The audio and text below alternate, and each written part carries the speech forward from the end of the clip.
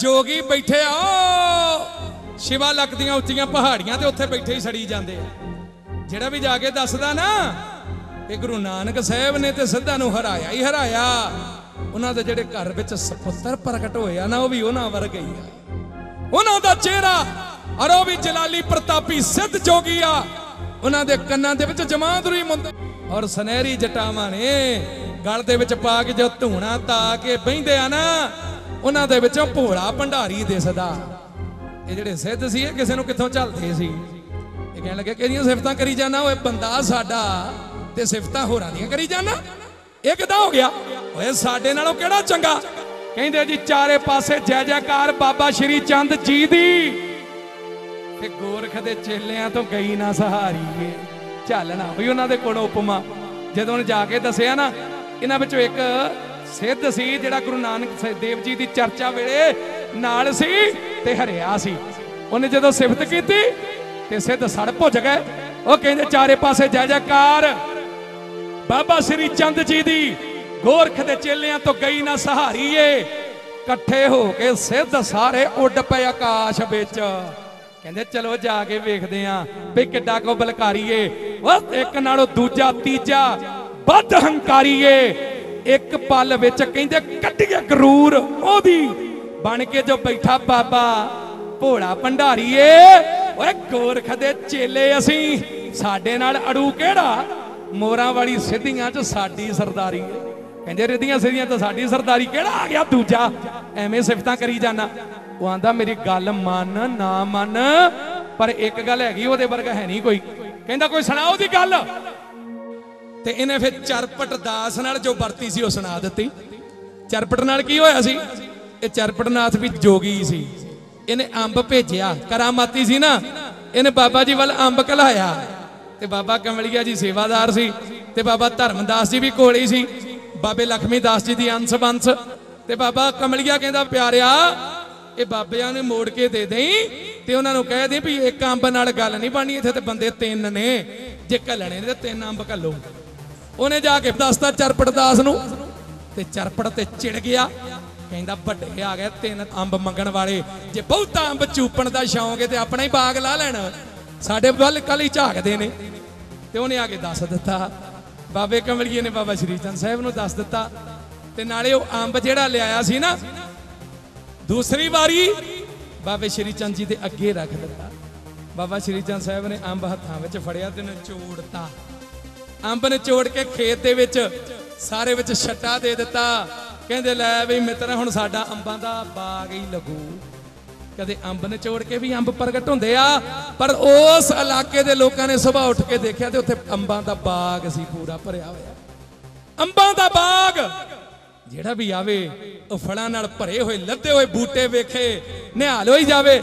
ਤੇ ਕਿਸੇ ਨੇ ਚਰਪਟ ਨੂੰ ਦੱਸਿਆ ਵੀ, ਚਰਪਟ ਸਾਹਿਬ, ਤੁਹਾਨੂੰ ਚੇਪ ਤਾਂ ਉਹ ਨਹੀਂ ਦੇਖ ਲਓ ਜਾ ਕੇ। ਉੱਥੇ ਤੇ ਹੋਰ ਹੀ ਭਾਣੇ ਵਰਤੀ ਫਿਰਦੇ ਆ। ਜਦੋਂ ਆ ਕੇ ਵੇਖਿਆ ਨਾ ਬਾਬਾ ਜੀ ਦੇ ਚਰਨੀ ਪਈ ਜਾਵੇ। ਉਹ ਇਹ ਜਦੋਂ ਦੱਸਿਆ ਨਾ ਮ- ਭੰਗਰਨਾਥ ਨੂੰ ਮਛੰਦਰਦਾਸ ਨੂੰ, ਚਰਪਟ ਨੂੰ, ਦੂਜੇ ਨੂੰ, ਤੇ ਤੀਜੇ ਮੰਗਲਦਾਸ ਨੂੰ, ਕਹਿੰਦੇ, ਹਾਂ? ਚਰਪਟ ਹੀ ਹਰ ਗਿਆ। ਇਹ ਚਰਪਟ ਨਹੀਂਗੇ ਜਿਹੜੇ ਹਰ ਜਾਣਗੇ। ਓਏ ਚਲੋ ਬਾਕੀ ਦੀਆਂ ਗੱਲਾਂ ਛੱਡੋ। ਐਸੇ ਹੀ ਵੇਲੇ ਕਰੋ ਤਿਆਰੇ। ਸ਼੍ਰੀ ਚੰਦ ਨੂੰ ਲੱਭੋ, ਆਪਾਂ ਉਹਦੇ ਕੋਲ ਚੱਲਾਂਗੇ। ਲਓ ਜੀ, ਸਿੱਧ ਉੱਡਣ ਲੱਗੇ, ਹੁਣ ਉੱਡਣ। ਕਹਿੰਦੇ, ਮਿੱਤਰੋ, ਜਾਣਾ ਇਸ ਤਰੀਕੇ ਨਾਲ ਆ ਵੀ ਜਾਂਦਿਆਂ ਦਾ ਹੀ ਅਸਰ ਪੈ ਜਾਏ। ਸਾਨੂੰ ਦੂਰੋਂ ਹੀ ਦੇਖ ਕੇ ਡੰਡੌਤਾਂ ਕਰੇ। ਉੜੇ ਆਉਂਦਿਆਂ ਨੂੰ ਵੇਖੂਗਾ ਤੇ ਆ ਵੀ ਚਰਨਾਂ ਤੇ ਡਿੱਗ ਪਊ। ਲਓ ਜੀ, ਕਿਸੇ ਨੇ ਹੁਣ ਸਾਫ਼ ਵਿਛਾਈ ਹੁੰਦੀ ਆ। ਉਹਦੇ ਉੱਤੇ ਚੌਂਕੜਾ ਲਾ ਲਿਆ। ਹੋਰ ਕਿਹੜਾ ਹਵਾਈ ਜਹਾਜ਼ ਸੀ ਨਾ ਕੋਲ? ਕਿਸੇ ਕੋਲ, ਇਹਨਾਂ ਦੇ ਕੋਲ ਚਿੱਪੀ ਫੜੀ ਹੋਈ ਆ, ਚਿੱਪੀ ਉੱਤੇ ਹੀ ਬਹਿ ਗਿਆ। ਇੱਕ ਬਾਬਾ ਕਹਿੰਦਾ, ਮੇਰੇ ਕੋਲ ਹੋਰ ਕੁਝ ਨਹੀਂ, ਖੜਾਵਾਂ ਤੇ ਹੀ ਬਹਿ ਗਿਆ। ਤੀਜਾ, ਚੌਥਾ, ਜੋ ਹੱਥ ਆਇਆ, ਉੱਤੇ ਬਹਿ ਗਏ ਤੇ ਮੂੰਹ ਦੇ ਵਿੱਚ ਮੰਤਰ ਪੜ੍ਹ ਕੇ, ਆ ਲਓ ਜੀ, ਉੱਡਣ ਲੱਗੇ ਆ। ਸਿੱਧਾਂ ਦੀ ਫਲੈਟ ਲੱਗੀ ਆ ਚੜਨ ਤੇ ਬਾਬੇ ਸ੍ਰੀ ਸ਼੍ਰੀਜਨ ਸਾਹਿਬ ਵੱਲ ਨੂੰ ਚੱਲੇ, ਆ ਕੇ ਰੱਬ ਕਰੇ ਸੋ ਬਾਬਾ ਜੀ ਦੀ, ਬਾਬਾ ਜੀ ਦੀ ਭਾਲ ਵਿੱਚ ਸੱਤ ਉੱਡ ਪੈ ਮਾਰ ਕੇ ਉਡਾਰੀਆਂ। ਬਾਬਾ ਜੀ ਦੀ ਭਾਲ ਵਿੱਚ ਸੱਦ ਉੱਡ ਪੈ ਮਾਰ ਕੇ ਉਡਾਰੀਆਂ। ਮਾਰ ਕੇ ਉਡਾਰੀਆਂ, ਮਾਰ ਕੇ ਉਡਾਰੀਆਂ, ਮਾਰ ਕੇ ਉਡਾਰੀਆਂ। ਬਾਬਾ ਜੀ ਦੀ, ਬਾਬਾ ਜੀ ਦੀ ਭਾਲ ਵਿੱਚ ਸੱਦ ਉੱਡ ਪੈ ਮਾਰ ਕੇ ਉਡਾਰੀਆਂ। ਬਾਬਾ ਜੀ ਦੀ ਭਾਲ ਵਿੱਚ ਸੱਦ ਉੱਡ ਪੈ ਮਾਰ ਕੇ ਉਡਾਰੀਆਂ।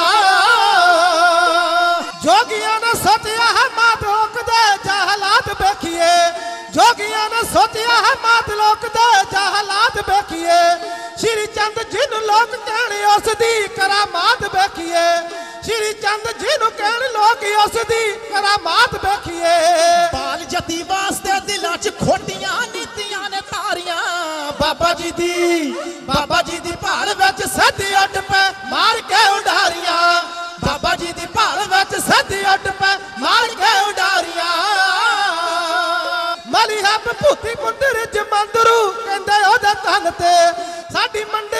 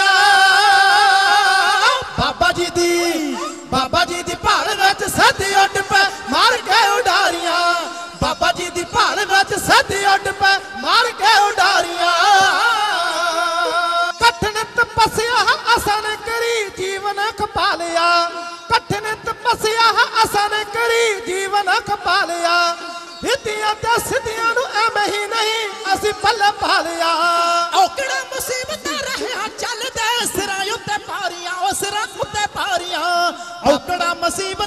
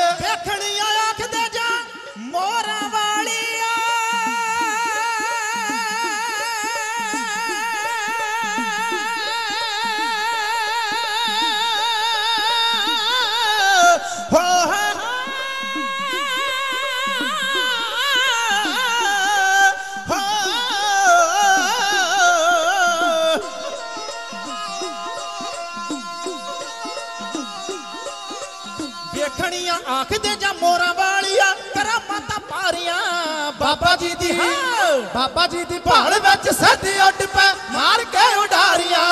ਬਾਬਾ ਜੀ ਦੀ ਭਾਲ ਵਿੱਚ ਸੱਦ ਉੱਡ ਪੈ ਮਾਰ ਕੇ ਉਡਾਰੀਆਂ।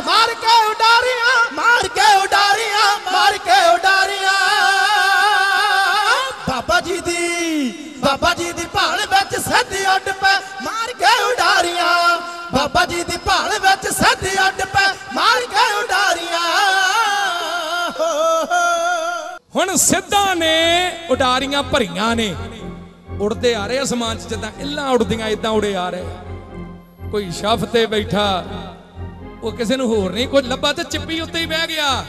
ਕਿਸੇ ਨੇ ਖੜਾਵਾਂ ਦੇ ਉੱਤੇ ਚੌਂਕੜਾ ਲਾ ਲਿਆ। ਹੁਣ ਇਸ ਤਰ੍ਹਾਂ ਉੜੇ ਹੋਣ ਉੜੇ ਹੋਣ, ਜਦੋਂ ਨਾ ਇੱਕ ਦੂਜੇ ਨੂੰ ਪੁੱਛਦੇ, ਹੈ ਕਿੱਥੇ? ਪਤਾ ਲੱਗਾ ਬਾਬਾ ਜੀ ਕਾਦਰਾਬਾਦ ਦੇ ਲਾਗੇ ਬੈਠੇ ਆ। ਧੂਣਾ ਤਪਾਈ ਬੈਠੇ ਆ।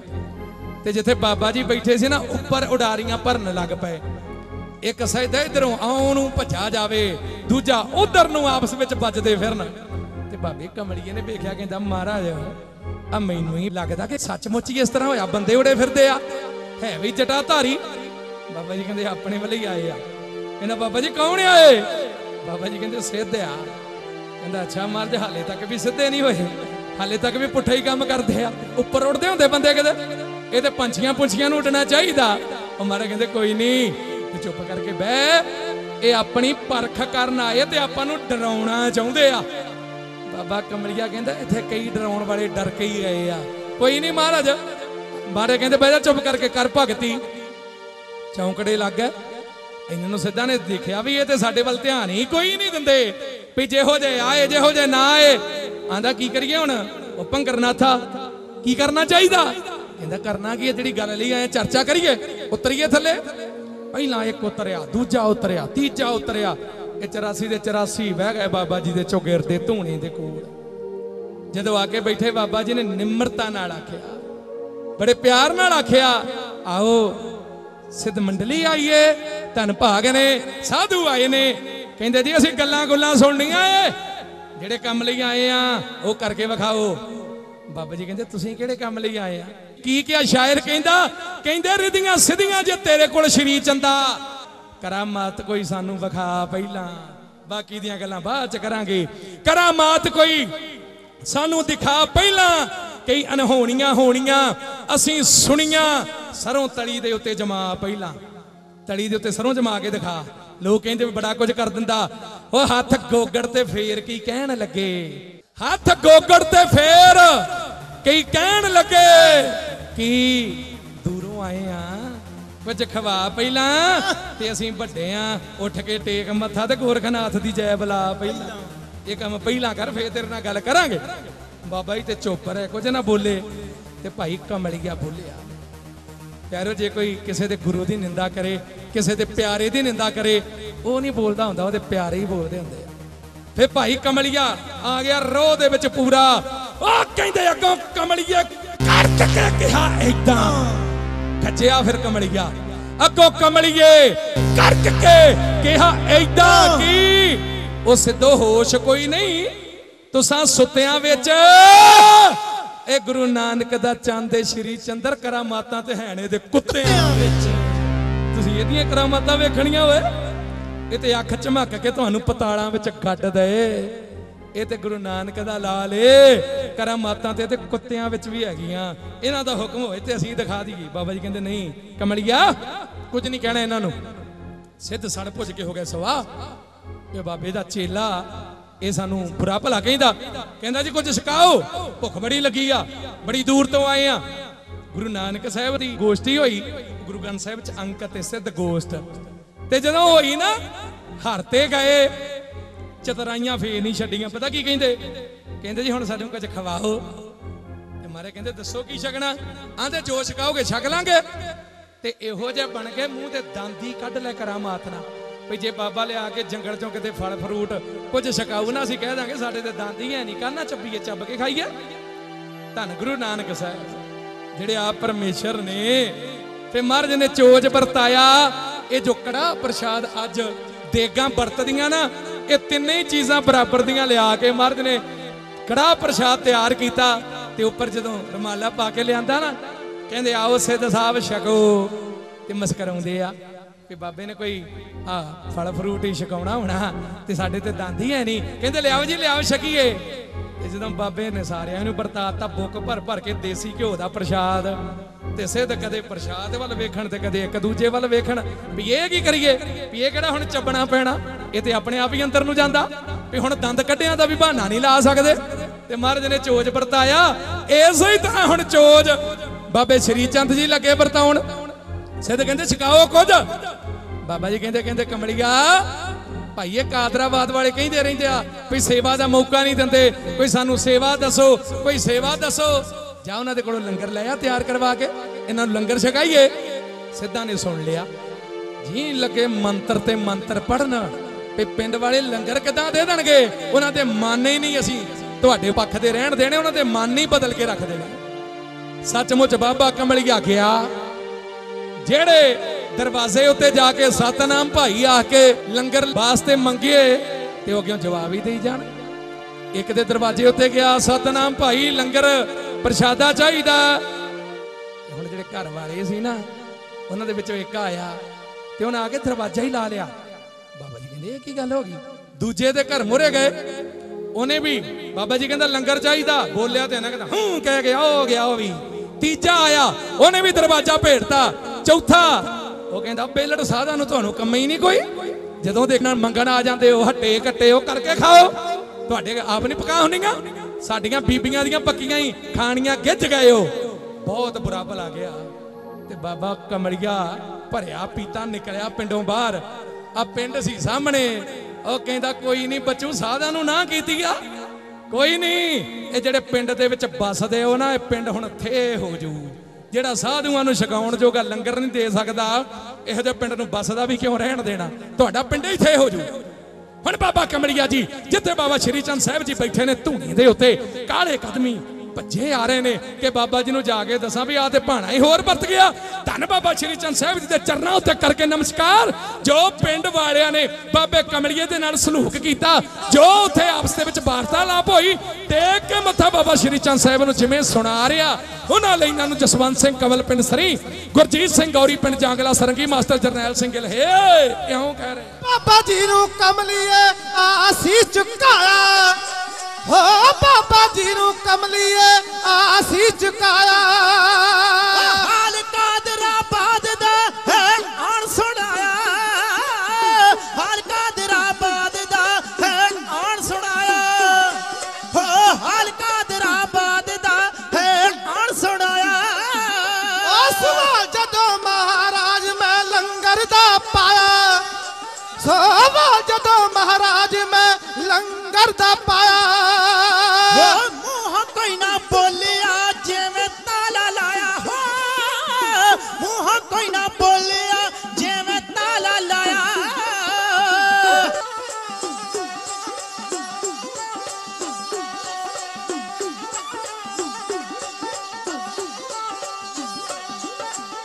ਹੋ ਨਾ ਦੇ ਵਿੱਚ ਸਿਰ ਸਭ ਨੇ ਹਲਾਇਆ। ਸੱਚ ਮੰਨਿਓ, ਖੂਨ ਸੀ ਮੇਰਾ ਗਰਮਾਇਆ। ਹਾਂ, ਸੱਚ ਮੰਨਿਓ, ਖੂਨ ਸੀ ਮੇਰਾ ਗਰਮਾਇਆ। ਤੇ ਬਣੂ ਪਿੰਡ ਬੀਲੀਆ, ਮੈਂ ਫਿਰ ਫਰਮਾਇਆ। ਹੋ ਤੇ ਬਣੂ ਪਿੰਡ ਬੀਲੀਆ।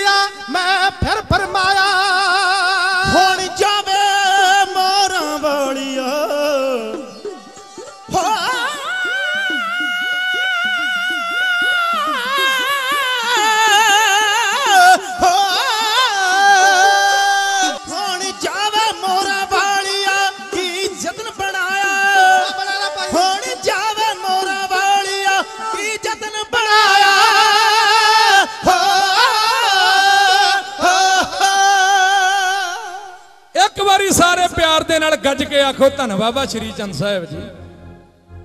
ਹੁਣ ਪਿਆਰਿਓ, ਸਿੱਧ ਬੈਠੇ ਨੇ ਚੁਗਿਰਦੇ ਤੇ ਕਮਲੀਆ ਭੱਜਾ ਆਉਂਦਾ। ਹੁਣ ਬਾਬਾ ਕਮਲੀ ਆਇਆ ਗਿਆ, ਚਰਨਾਂ ਤੇ ਰੱਖ ਦਿੱਤਾ, ਸਿਰ ਤੇ ਘਬਰਾਇਆ ਹੋਇਆ। ਬਾਬਾ ਜੀ ਕਹਿੰਦੇ, ਕਮਲੀਆ, ਤੂੰ ਵੀ ਘਬਰਾ ਗਿਆ? ਕਹਿੰਦਾ ਮਾਜੀ ਕੀ ਕਰਾਂ, ਗੱਲ ਹੀ ਇਹੋ ਜੀ ਹੋ ਗਈ ਆ। ਬਾਬਾ ਜੀ ਕਹਿੰਦੇ, ਤੇਰੇ ਉੱਤੇ ਵੀ ਅਸਰ ਹੋ ਗਿਆ ਸਿੱਧਾਂ ਦਾ। ਕਹਿੰਦੇ, ਕੀ ਹੋਇਆ ਮਹਾਰਾਜ? ਆਂਦੇ, ਜਿਹੜੇ ਪੁੱਠੇ ਸਿੱਧੇ ਜੇ ਮੰਤਰ ਹੀ ਪੜੀ ਜਾਂਦੇ ਆ, ਭਾਈ ਕਮਲੀਆ ਗੱਲ ਤੇਰੀ ਸੀ, ਗੋਲੀ ਦੇ ਬਾਂਗ ਵੱਜੀ। ਸਿੱਧਾਂ ਦੇ। ਜਦੋਂ ਤੂੰ ਕਿਹਾ ਸੀ ਨਾ, ਕਰਾਮਾਤਾਂ ਤੇ ਇਹਨਾਂ ਦੇ ਕੁੱਤਿਆਂ ਵਿੱਚ ਵੀ ਨੇ, ਵੀ ਤੁਸੀਂ ਕਰਾਮਾਤ ਵੇਖਣੀ ਚਾਹੁੰਦੇ ਹੋ? ਗੱਲ ਤੇਰੀ ਸੀ, ਗੋਲੀ ਦੇ ਬਾਂਗ ਵੱਜੀ। ਗੁੱਸਾ ਸਿੱਧਾਂ ਨੂੰ ਤੈਹੀਂ ਚੜਾ ਦਿੱਤਾ। ਇਹ ਪੁੱਠਾ ਸਿੱਧਾ ਜਿਹਾ ਇਹਨਾਂ ਕੋਈ ਮਾਰ ਮੰਤਰ ਪਿੰਡ ਵਾਲਿਆਂ ਦਾ ਮਨ ਬਦਲਾ ਦਿੱਤਾ। ਇਹਨਾਂ ਦੀ ਮਿਹਰਬਾਨੀ ਹੋਈ ਆ, ਕਾਦਰਾਵਾਦੀ ਨਹੀਂ ਮਾੜੇ। ਉਹ ਤੇ ਬੰਦੇ ਚੰਗੇ ਸੀ, ਤੇ ਲੰਗਰ ਦੇਵੇ ਨਾ, ਕੋਈ ਭਾਈ ਕਮਲੀਏ ਨੂੰ ਨਾ ਵਿੱਚ ਸਾਰਿਆਂ ਹੀ ਸਿਰ ਹਲਾ ਦਿੱਤਾ। ਮੋਰਾਂ ਵਾਲੀਆ ਨਗਰ ਹੁਣ ਥੇ ਹੋ ਭਾਈ ਕਮਲੀਏ ਮੁਖੋਂ ਫਰਮਾ ਤੇ ਭਾਈ ਕਮਲੀਏ ਵੀ ਦੱਸਦਾ, ਕਹਿੰਦਾ, ਬਾਬਾ ਜੀ, ਮਨ ਨਹੀਂ ਨਹੀਂ ਬਦਲੇ ਜਾਂ ਕਿਸੇ ਹੋਰ ਨੇ ਬਦਲੇ। ਮੈਂ ਕਹਾਂ ਆ ਵੀ ਪਿੰਡ ਤੁਹਾਡਾ ਥੇ ਹੋ ਜਾਊ। ਬਾਬਾ ਕਹਿੰਦੇ, ਓਹ ਹੋ, ਉਹ ਕਮਲੀਆ ਛੇਤੀ ਕਰ। ਉਹ ਬਾਕੀ ਗੱਲਾਂ ਬਾਅਦ ਦੇ ਵਿੱਚ, ਉਹ ਜਾ ਪਿੰਡ ਵਾਲਿਆਂ ਨੂੰ ਜਾ ਕੇ ਕਹਿ ਪਿੰਡੋਂ ਬਾਹਰ ਨਿਕਲ ਆਉਣ। ਕਹਿੰਦਾ, ਬਾਬਾ ਜੀ, ਕੀ ਹੋਇਆ? ਕਹਿੰਦੇ ਕਮਲੀਆ ਤੂੰ ਨਹੀਂ ਜਾਣਦਾ ਸਾਡੀ ਸੇਵਾ ਕਰ ਕਰਕੇ ਕਿੱਥੇ ਪਹੁੰਚ ਗਿਆ? ਕਮਲਿਆ, ਤੇਰਾ ਬਚਨ ਟਲਣਾ ਨਹੀਂ। ਹੁਣੇ ਹੀ ਕਿਹਾ ਨਾ, ਬਸ ਸ਼ਾਮ ਨਹੀਂ ਪੈਣੀ, ਪਿੰਡ ਥੇ ਬਣ ਜਾਣਾ। ਜਾ, ਹੁਣ ਇੱਕ ਉਹਨਾਂ ਦਾ ਭਲਾ ਕਰ ਦੇ, ਉਹ ਪਿੰਡ ਵਾਲਿਆਂ ਨੂੰ ਜਾ ਕੇ ਕਹਿ ਦੇ ਕਿ ਪਿੰਡ ਛੱਡ ਕੇ ਬਾਹਰ ਆ ਜਾ। ਬਾਬਾ ਕਮਲਿਆ ਭੱਜਾ ਫਿਰਦਾ, ਗਲੀਆਂ ਵਿੱਚ ਕਹਿੰਦਾ ਪਹਿਲਾਂ ਤੇ ਅੱਗੇ ਵਕਤ ਪਾਇਆ, ਇਹਨਾਂ ਲੰਗਰ ਨਹੀਂ ਦਿੱਤਾ, ਤੇ ਹੁਣ ਵੀ ਵਕਤ ਮੈਨੂੰ ਹੀ ਪਿਆ, ਮੈਂ ਹੀ ਇਹਨਾਂ ਨੂੰ ਪਿੰਡੋਂ ਬਾਹਰ ਕੱਢਾਂ। ਬਾਬਾ ਜੀ ਕਹਿੰਦੇ, ਉਹ ਬਚ ਜਾਓ, ਫੇਰ ਨਾ ਆਖਿਓ ਸਾਧਾਂ ਨੇ ਰਗੜ ਤੇ ਓ ਬਾਹਰ ਆ ਜਾਓ ਪਿੰਡ ਵਾਲਿਓ। ਪਿੰਡ ਤੁਹਾਡਾ ਥੇ ਹੋਣ ਵਾਲਾ। ਤੁਹਾਡੇ ਘਰ ਢਹਿਣ ਵਾਲੇ ਆ। ਉਹ ਕਈ ਤੇ ਕਹਿਣ ਵੀ ਅਸੀਂ ਨਹੀਂ ਜਾਣਾ। ਉਹ ਦੂਜਾ ਕਹਿੰਦਾ, ਓਏ ਬਾਬੇ ਜੋ ਕਹਿੰਦੇ ਸੱਚੇ ਹੀ ਹੋ ਜਾਂਦਾ। ਬਾਬੇ ਸ਼੍ਰੀ ਚੰਦ ਦਾ ਚੇਲਾ। ਇਹ ਗੱਲ ਨਹੀਂ ਅਧੂਰੀ ਰਹਿਣੀ। ਮਿੱਤਰਾ ਭੱਜ ਕੇ ਜਾਨ ਬਚਾ ਹੁੰਦੀ ਤੇ ਭੱਜ ਲਾ। ਪਿੰਡ ਸਾਰਾ ਹੀ ਬਾਲ ਬੱਚੇ ਧਨ ਮਾਲ ਲੈ ਕੇ ਨਿਕਲਿਆ ਏ ਬਾਹਰ। ਪਿੰਡ ਨਿਕਲਣ ਦੀ ਦੇਰ ਸੀ। ਕਹਿੰਦੇ ਕਹਾਉਂਦੇ ਮਕਾਨ। ਜਿਹੜੇ ਕਹਿੰਦੇ ਸੀ, ਸਾਡਾ ਘਰ ਬੜਾ ਪੱਕਾ ਸਾਰਿਆਂ ਤੋਂ ਪਹਿਲਾਂ ਉਹੀ ਟੱਠਾ ਪੱਕੇ ਪੱਕੇ ਡਿੱਗ ਪਏ, ਸਾਰੇ ਹੀ ਪਿੰਡ ਥੇ ਹੋ ਗਿਆ। ਖੜ ਖੜ ਕੇ ਦੂਰੋਂ ਹੀ ਵੇਖਣ, ਨਾਲੇ ਬਾਬੇ ਕਮਲੀਏ ਨੂੰ ਮੱਥਾ ਟੇਕੀ ਜਾਣ। ਬਾਬਾ ਕਹਿੰਦਾ ਉਦੋਂ ਲੰਗਰ ਨਹੀਂ ਸੀ ਦਿੰਦੇ ਹੁਣ ਮੱਥਾ ਟੇਕਣ ਨੂੰ ਨਹੀਂ ਹਟਦੇ। ਕਹਿੰਦੇ, ਬਾਬਾ, ਪਤਾ ਹੀ ਨਹੀਂ, ਆ ਸਾਡੇ ਤੇ ਮਨ ਨੂੰ ਪਤਾ ਹੀ ਨਹੀਂ ਕੀ ਹੋ ਗਿਆ। ਕਹਿੰਦਾ, ਇਹ ਤੇ ਬਾਬਾ ਸ਼੍ਰੀ ਚੰਦ ਸਾਹਿਬ ਵੀ ਕਹਿੰਦੇ ਆ ਵੀ ਕਸੂਰ ਤੁਹਾਡਾ ਨਹੀਂ। ਓਏ, ਮੇਰੇ ਨਾਲ ਮੱਥਾ ਟੇਕੋ, ਜਾਓ ਜਾ ਕੇ ਨਾਨਕ ਦੇ ਚੰਨ ਨੂੰ ਮੱਥਾ ਟੇਕੋ। ਬਾਬੇ ਸ਼੍ਰੀ ਚੰਦ ਨੂੰ ਮੱਥਾ ਟੇਕ ਕੇ ਭੁੱਲਾਂ ਬਖਸ਼ਾਓ। ਨਗਰ ਵੀ ਬਹਿ ਗਿਆ ਤੇ ਸਿੱਧ ਵੀ ਬੈਠੇ ਆ। ਮੁੜ ਮੁੜ ਕੇ ਕਹੀ ਜਾਂਦੇ, ਬਾਬਾ ਜੀ ਕੁਝ ਛਕਾਓਗੇ, ਵੀ ਕਿ ਗੱਲਾਂ ਹੀ ਬਾਤੀ ਸਾਰ ਦੋਗੇ। ਬਾਬਾ ਕਮਲੀਆ ਕੋਲ ਬਹਿ ਗਿਆ। ਬਾਬਾ ਜੀ ਹੁਣ ਕੀ ਹੋ ਕਮੇ? ਵੀ ਮੇਰਾ ਦਿਲ ਤੇ ਵਾਕਿਆ ਘਬਰਾਇਆ ਹੋਇਆ। ਬਾਬਾ ਜੀ ਕਹਿੰਦੇ, ਕਮਲੀਆ, ਕੋਈ ਨਹੀਂ ਅੰਨਪੂਰਨਾ ਆਉਂਦੀ ਏ ਤੇ ਇਹਨਾਂ ਨੂੰ ਛਕਾਉਨੇ ਆ। ਅੰਨਪੂਰਨਾ ਆਏਗੀ ਅੱਜ। ਅੰਨਪੂਰਨਾ? ਬਾਬਾ ਜੀ, ਇਹ ਤੇ ਮੈਂ ਪਹਿਲਾਂ ਕਦੇ ਸੁਣੀ ਨਹੀਂ ਉਹ ਪਤੀਲੀ ਪਈ ਸੀ ਕੋਲ, ਕਿਤੇ ਪਤੀਲਾ ਪਿਆ ਸੀ। ਬਾਬਾ ਕਹਿੰਦਾ ਉਹਦੇ ਅੰਨਪੂਰਨਾ, ਚੱਕ ਇਹਨੂੰ। ਚੁੱਕੇ ਕੋਲ ਲੈ ਆਂਦੀ।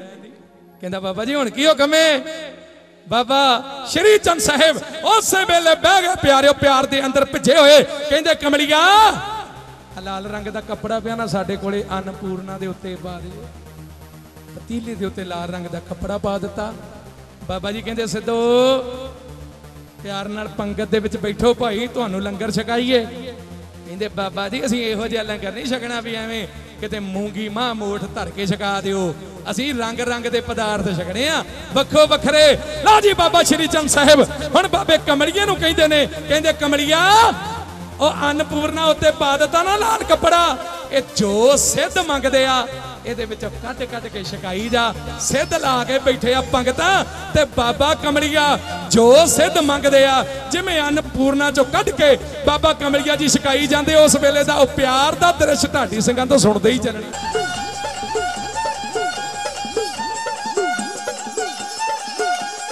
ਇਸ ਬਰਤਨ ਚੋਂ ਭਾਈ ਕਮਲਿਆ ਤੂੰ ਲੰਗਰ ਵਰਤਾਈ ਜਾ। ਇਸ ਬਰਤਨ ਚੋਂ ਭਾਈ ਕਮਲਿਆ ਤੂੰ ਲੰਗਰ ਵਰਤਾਈ ਜਾ।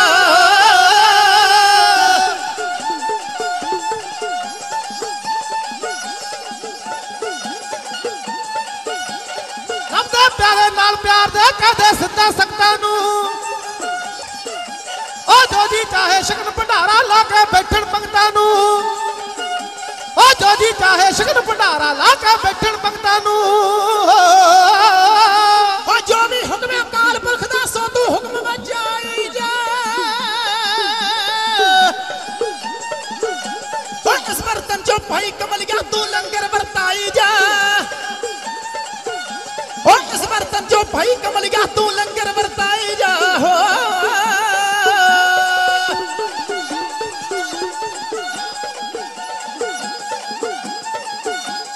ਇਸ ਪਤੀਲੇ ਉੱਪਰ ਕਪੜਾ ਲਾਲ ਰੰਗ ਦਾ ਪਾ ਦੇ ਤੂੰ।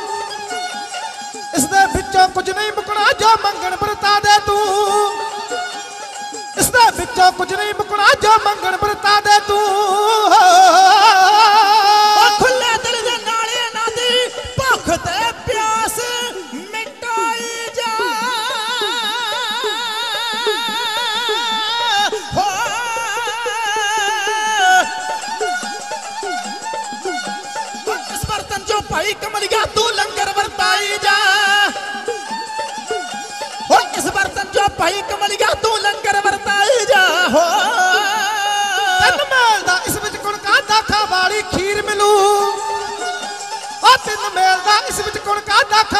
ਖੀਰ ਮਿਲੂ। ਦੁੱਧ ਮੰਗਣਗੇ, ਦੁੱਧ ਮਿਲੂਗਾ। ਦੁੱਧ ਮੰਗਣਗੇ, ਦੁੱਧ ਮਿਲੂਗਾ, ਪੀਣ ਵਾਸਤੇ ਨੀਰ ਮਿਲੂ। ਉਹ ਦੁੱਧ ਮੰਗਣ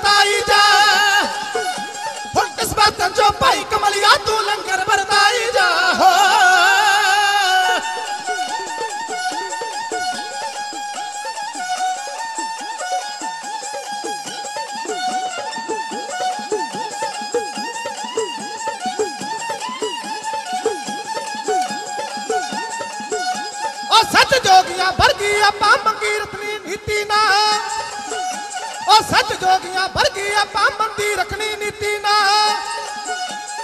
ਇੱਥੋਂ ਜਾ ਕੇ ਇੰਜ ਕਹਿਣਾ ਸਾਡੀ ਸੇਵਾ ਕੀਤੀ ਨਾ। ਇੱਥੋਂ ਜਾ ਕੇ ਇੰਜ ਕਹਿਣਾ ਸਾਡੀ ਸੇਵਾ ਕੀਤੀ ਨਾ।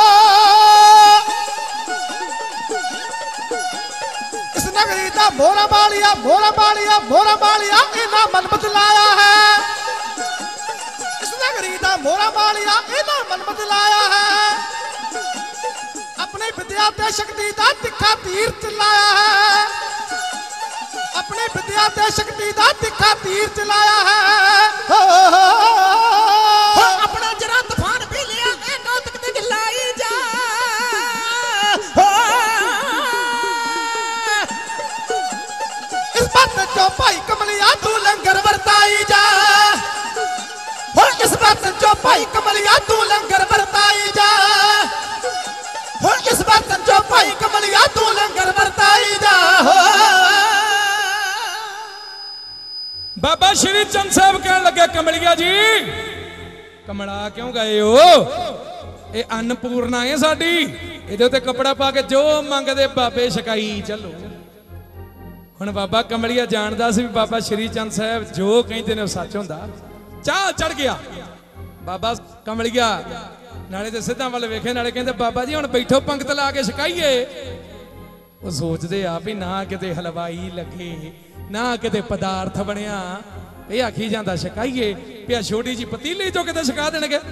ਬੰਦੇ 84 ਤੇ ਉਹ ਵੀ ਜਿੰਨਾ ਮਰਜ਼ੀ ਛਕ ਲਈਏ, ਕਦੇ ਰੱਜਣ ਵਾਲੇ ਨਹੀਂ। ਛਕਾਉਣਗੇ ਕਿਦਾਂ? ਹੁਣ ਬਾਬਾ ਸ੍ਰੀ ਚੰਦ ਸਾਹਿਬ ਕੌਤਕ ਵਰਤ ਗਿਆ।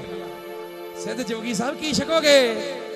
ਕਹਿੰਦਾ ਦੰਦ ਥੋੜੇ ਜਿਹਾ ਕਮਜ਼ੋਰ ਆ, ਖੀਰ ਲਿਆ, ਖੀਰ ਬਦਮਾ ਵਾਲੀ। ਬਾਬਾ, ਵਧੀਆ ਜੀ, ਤੇ ਧਿਓਲੇ ਦੀ ਨਾਲ ਦੇਖ ਲਿਆਈ। ਉਂਝ ਨਹੀਂ ਗੱਲ ਬਣਨੀ? ਤੇ ਬਾਬੇ ਨੇ ਕੋਲ ਗਿਆ, ਸਤ ਕਰਤਾ ਅਨਪੂਰਨਾ ਦੇ ਮੋਹਰੇ ਜਾ ਕੇ ਬੇਨਤੀ ਕੀਤੀ ਔਰ ਇਹ ਦੋਏ ਪਦਾਰਥ ਵਿੱਚੋਂ ਕੱਢ ਕੇ ਉਹ ਬਾਬੇ ਦੇ ਮੋਹਰੇ ਰੱਖ ਦਿੱਤੇ। ਉਹ ਜਿਹੜਾ ਨਾਲ ਬੈਠਾ ਸੀ, ਉਹਨੇ ਮਠਿਆਈਆਂ ਮੰਗੀਆਂ, ਉਹਨੂੰ ਉਹ ਛਕਾਤੀਆਂ। ਜੇ ਕੋਈ ਅੰਨ ਮੰਦ- ਮੰਗਦਾ, ਉਹਨੂੰ ਪ੍ਰਸ਼ਾਦਾ ਛਕਾਈ ਜਾਂਦਾ। ਇਹਨਾਂ ਨੂੰ ਐਨ ਚੰਗੀ ਤਰ੍ਹਾਂ ਤ੍ਰਿਪਤ ਕੀਤਾ, ਤਸੱਲੀਆਂ ਕਰਾਤੀਆਂ ਇੱਕ ਵਾਰੀ। ਹੁਣ ਸਿੱਧ ਸੋਚਦੇ ਵੀ ਹੁਣ ਕੀ ਕਹੀਏ? ਵੀ ਹੁਣ ਤੇ ਹਰ ਇੱਕ ਪੱਖੋਂ ਹੀ ਤੇ ਇਹਨਾਂ ਨੂੰ ਇੰਜ ਲੱਗੇ ਵੀ ਉੜ ਕੇ ਆਏ ਸੀ। ਲੱਗਦਾ ਹੁਣ ਇਦਾਂ ਵੀ ਤੁਰ ਕੇ ਜਾਣਾ ਪੈਣਾ। ਵੀ ਜੋ ਕੁਝ ਪੱਲੇ ਸੀ ਉਹਦੇ ਪੱਲੇ ਵਿੱਚ ਰਹਿ ਨਹੀਂ ਗਿਆ ਹੁਣ। ਬਾਬਾ ਸ਼੍ਰੀ ਚੰਦ ਸਾਹਿਬ, ਤਾਕਤ ਖਿੱਚ ਗਿਆ ਸਾਡੀ। ਇਹ ਰੱਜ ਕੇ ਨਾ ਐਨ ਚੰਗੀ ਤਰ੍ਹਾਂ ਗੋਗੜਾਂ ਤੇ ਹੱਥ ਫੇਰਦੇ ਫੇਰਦੇ ਹੁਣ ਨਿੰਮੋ ਝੂਣੇ ਜੇ ਹੋਏ, ਝੂਠੇ ਜੇ ਹੋਏ। ਇੱਕ ਦੂਜੇ ਨੂੰ ਕਹਿੰਦੇ, ਕੀ ਕਰੀਏ ਹੁਣ? ਕਹਿੰਦਾ, ਕਰਨਾ ਕਰਾਉਣਾ ਕੀ ਆ, ਪੈਰੀ ਪੈ ਜਾਓ ਇਹ ਕੋਈ ਕੋਈ ਲਾ ਲਿਆ। ਇਹ ਭੁੱਲਾਂ ਬਖਸ਼ਾ ਲਓ। ਜਿਹੜੇ ਤੜੇ ਆਉਂਦੇ ਸੀ ਨਾ ਵੀ ਗੁਰੂ ਨਾਨਕ ਕੋਲੋਂ ਤਾਂ ਹਾਰ ਗਏ ਅਸੀਂ ਨਹੀਂ ਹਾਰਨਾ। ਉਹ ਪੈਰੀ ਪੈ ਜਾਓ ਨਹੀਂ ਤੇ ਜੋ ਕੁਝ ਪੱਲੇ ਹੈਗਾ। ਇਹਦਾ ਕੀ ਪਤਾ ਉਹ ਵੀ ਖਿੱਚ ਕੇ ਲੈ ਜਾਏ। ਬਾਬਾ ਸ਼੍ਰੀ ਚੰਦ ਸਾਹਿਬ ਜੀ ਦੇ ਚਰਨਾਂ ਉੱਤੇ ਡਿੱਗ ਪਏ। ਉਹ ਕਹਿੰਦੇ ਸਿੱਧ ਹੋਏ ਸਿੱਧੇ ਡਿੱਗੇ ਚਰਨਾਂ 'ਚ ਫਟਾਫਟ। ਬਾਬਾ ਜੀ ਦੇ ਅੱਗੇ ਪੇਸ਼ ਉਹਨਾਂ ਦੀ ਕੋਈ ਚੱਲੀ ਨਾ। ਉਹ ਢਿੱਲ ਕੇ ਲੰਗੋਟ। ਐਨ ਚਾਰੇ ਪਾਸੇ ਭੱਜੇ ਫਿਰਦੇ ਆ। ਢਿੱਲ ਕੇ ਲੰਗੋਟ ਕਹਿੰਦੇ ਉਹ ਲੋਟ ਪੁੱਟ ਤੇਰੀ ਓਟ। ਮੂੰਗੀ ਮਾਂ ਮੋਠ ਬਾਬਾ ਸਾਡੀ ਦਾਲ ਕੋਈ ਗਲੀ ਨਾ। ਕਰਾਮਾਤਾਂ ਵਿੱਚ ਅਸੀਂ ਸਾਰਿਆਂ ਤੋਂ ਹੀ ਸੂਰਮੇ ਸੀ। ਕਰਾਮਾਤਾਂ ਵਿੱਚ ਸਾਤੋਂ ਉੱਤੇ ਦਾ ਕੋਈ ਨਹੀਂ ਸੀ। ਕਰਾਮਾਤਾਂ ਵਿੱਚ ਅਸੀਂ ਸਾਰਿਆਂ ਤੋਂ ਸੂਰਮੇ ਸੀ। ਤੇਰੀ ਜੋ ਇਹ ਤਾਕਤ ਹੈ ਸਾਤੋਂ ਗਈ ਚੱਲੀ ਨਾ। ਜੋ ਤੇਰੇ ਕੋਲੇ ਨਾ ਸਾਡੇ ਕੋਲ ਚੱਲ ਨਹੀਂ ਹੋਇਆ। ਸਾਡੇ ਕੋਲ ਜੋ ਕੁਝ ਸੀ ਇੰਜ ਲੱਗਦਾ ਵੀ ਨਿਕਲ ਗਿਆ ਵਿੱਚੋਂ। ਸਿੱਧ ਜੋਗੀ ਨਾਥ ਸਾਰੇ। ਕਹਿੰਦੇ ਬਾਬਾ ਅਸੀਂ ਹਾਰੇ ਹੁਣ ਹਰ ਗਏ ਆ ਅਸੀਂ। ਮੋਹਰਾਂ ਵਾਲੀ ਨਮਸਕਾਰੇ। ਸੱਚ ਆਖੀਏ, ਸ਼੍ਰੀ ਚੰਦਾ ਤੇਰੇ ਨਾਲੋਂ ਜੱਗ ਤੇ ਕੋਈ ਬਲੀ ਨਾ। ਤੇਰੇ ਨਾਲ ਕੋਈ ਵਲੀ ਹੈ ਹੀ ਨਹੀਂ। ਤੂੰ ਵਲੀਆਂ ਦਾ ਵੀ ਵਲੀ ਏ, ਤੂੰ ਬਾਬਿਆਂ ਦਾ ਵੀ ਬਾਬਾ ਏ। ਤੈਨੂੰ ਤੇ ਸਾਰੀ ਦੁਨੀਆ ਨਮਸਕਾਰਾਂ ਕਰਦੀ ਏ। ਸਾਡੀਆਂ ਵੀ ਨਮਸਕਾਰਾਂ ਨੇ। ਕਈ ਜਾਣ, ਕਹਿੰਦੇ ਜੀ, ਚਰਪਟ ਚੇਪਤਾ ਮੰਗਲ ਮਲੰਗ ਮੋਇਆ। ਜਿਹੜਾ ਚਰਪਟ ਕਹਿੰਦਾ ਸੀ ਨਾ, ਮੇਰੇ ਨਾਲ ਦਾ ਹੈ ਨਹੀਂ ਦੂਜਾ ਕੋਈ। ਸ਼ਾਇਰ ਕਹਿੰਦਾ ਚਰਪਟ ਚੇਪਤਾ ਮੰਗਲ ਮਲੰਗ ਮੋਇਆ। ਭੰਗੜਨਾਥ ਨੂੰ ਭੰਗ ਭੁਲਾ ਦਿੱਤੀ। ਇਹ ਭੰਗੜਨਾਥ ਇਹਨੂੰ ਭੰਗ ਕਰਕੇ ਕਹਿੰਦੇ ਸੀ ਭੰਗ ਵਾਲੀ ਛਕਦਾ ਹੁੰਦਾ ਸੀ। ਭੰਗੜਨਾਥ ਨੂੰ ਭੰਗ ਭੁਲਾ ਦਿੱਤੀ। ਸਿੱਧ ਮੰਡਲੀ ਅਰਸ਼ ਵਿੱਚ ਉੱਡਣ ਵਾਲੀ ਬਾਬੇ ਪਲਾਂ ਵਿੱਚ ਫਰਸ਼ ਤੇ ਲਾ ਦਿੱਤੀ। ਜਿਹੜੇ ਉੱਡਦੇ ਫਿਰਦੇ ਸੀ ਨਾ ਐਨ ਚੰਗੀ ਤਰ੍ਹਾਂ ਧਰਤ ਤੇ ਲਾ ਤੇ ਤੇ ਫੇ ਹੱਥ ਜੋੜ ਕੇ ਚਰਨਾਂ ਤੇ ਸਿੱਧ ਡਿੱਗੇ। ਪਤਾ ਕੀ ਕਹਿੰਦੇ ਫਿਰ? ਹੱਥ ਜੋੜ ਕੇ ਚਰਨਾਂ ਤੇ ਸਿੱਧ ਡਿੱਗੇ। ਕਹਿੰਦੇ, ਬਾਬਾ ਬਖਸ਼ਲਾ, ਅਸਾਂ ਤੋਂ ਭੁੱਲ ਹੋ ਗਈ। ਭਾਈ ਕਮਲੀਆ ਹੱਸ ਕੇ ਕਹਿਣ ਲੱਗਾ, ਇੱਥੇ ਤੇ ਕਈਆਂ ਦੀ ਫਟਕੜੀ ਫੁੱਲ ਹੋ ਗਈ। ਤੁਸੀਂ ਕਿਹੜੇ ਆ ਓਏ?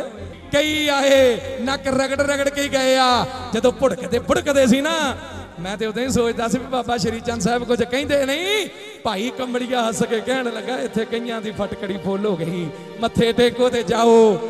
ਪਰ ਬਾਬਾ ਜੀ, ਉੜ ਕੇ ਆ ਤੇ ਗਏ, ਹੁਣ ਜਾਣਾ ਤੁਰ ਕੇ ਪੈਣਾ ਪੈਰੀ ਪੈਣ ਬਾਬਾ ਜੀ, ਦੇ ਦਿਓ ਨਾ ਸਾਡੀਆਂ ਤਾਕਤਾਂ। ਸਾਡੇ ਪੱਲੇ ਹੀ ਨਹੀਂ ਹੁਣ ਕੁਝ। ਬਾਬਾ ਜੀ ਕਹਿੰਦੇ, ਸੁਣੋ, ਤਾਕਤਾਂ ਦੇਣੇ ਆ, ਪਰ ਇਹ ਦਿਲ ਦੇ ਵਿੱਚ ਧਾਰ ਕੇ ਜਾਇਓ ਵੀ ਅੱਜ ਤੋਂ ਲੈ ਕੇ ਗੁਰੂ ਨਾਨਕ ਦੇ ਘਰ ਨਾਲ ਕੋਈ ਮੱਥਾ ਨਹੀਂ ਲਾਊ ਉਦਾਸੀ ਨਾ ਹੋਣ, ਉਹ ਨਿਰਮਲੇ ਹੋਣ, ਕੋਈ ਹੋਵੇ, ਮੱਥਾ ਨਾ ਲਾਇਓ ਕਦੇ ਵੀ। ਇਹਨਾਂ ਚਰਨਾਂ ਤੇ ਸਿਰ ਰੱਖਿਆ, ਕਹਿੰਦੇ, ਮਰ ਜਾ ਅਸੀਂ ਆਪਣੇ ਗਾਂ ਵਾਲਿਆਂ ਨੂੰ ਵੀ ਦੱਸਾਂਗੇ ਵੀ ਇਹਨਾਂ ਨਾਲ ਨਾ ਕੋਈ ਮੱਥਾ ਲਾਇਓ। ਬਾਬਾ ਸ਼੍ਰੀ ਚੰਦ ਸਾਹਿਬ, ਪਰਉਪਕਾਰਾਂ ਦੀਆਂ ਝੜੀਆਂ ਲਾਈਆਂ ਕਾਦਰਾਬਾਦ ਮੁੜ ਕੇ ਵਸਾਇਆ। ਉਹ ਜਿਹੜਾ ਉਹਦਾ ਨਾਮ ਫਿਰ ਰੱਖਿਆ ਚੱਕ ਨਾਨਕ ਨਾਨਕ ਚੱਕ। ਅੱਜ ਵੀ ਹੈਗਾ ਜ਼ਿਲ੍ਹਾ ਗੁਰਦਾਸਪੁਰ ਦੇ ਵਿੱਚ। ਬਾਬਾ ਸ਼੍ਰੀ ਚੰਦ ਸਾਹਿਬ ਜੀ ਦੇ ਕਿਹੜੇ ਕਿਹੜੇ ਚੋਜ ਗਿਣੀਏ? ਪਿਆਰਿਓ, ਜੇ ਕਹਿਤਾ ਨਾ, ਬਾਬਾ ਜੀ ਨੇ ਚੱਲ ਬੇੜੀ ਪੂਰ ਪਾ ਦੇ। ਉਹ ਕਹਿੰਦਾ, ਬਾਬਾ ਜੀ, ਮੈਂ ਨਹੀਂ ਪਾਉਣਾ ਪੂਰ। ਪਾਣੀ ਬੜਾ ਤੇਜ਼ ਏ। ਤੇ ਸਿਲਾ ਦੇ ਕੋਲ ਹੀ ਚਲ ਗਿਆ ਕਹਿਣ ਲੱਗੇ, ਆ ਵੀ ਭਾਗਾਂ ਵਾਲੀਏ ਤੂੰ ਸੇਵਾ ਕਰ। ਕਦੇ ਪੱਥਰ ਵੀ ਤਰਦੇ ਹੁੰਦੇ ਆ ਗੁਰੂ ਨਾਨਕ ਦੇ ਘਰ ਦੇ ਵਿੱਚ ਤਰਦੇ ਨੇ। ਬਾਬੇ ਸ਼੍ਰੀ ਚੰਦ ਦਾ ਘਰ ਤੇ ਗੁਰੂ ਨਾਨਕ ਦਾ ਘਰ ਵੱਖ ਨਹੀਂ। ਉਹ ਜਿਹੜੇ ਲੋਕ ਅੱਜ ਦੁਕੀ ਤਕੀ ਲਿਚਰ ਪਿਚਰ ਜਈ ਆਪਸ ਦੇ ਵਿੱਚ ਜਾਣ ਬੁੱਝ ਕੇ ਇਹ ਬਗਾੜ ਪਾ ਰਹੇ ਨਾ, ਉਹੋ ਜਿਹੇ ਲੋਕਾਂ ਨੂੰ ਮੂੰਹ ਨਾ ਲਾਇਆ ਕਰੋ।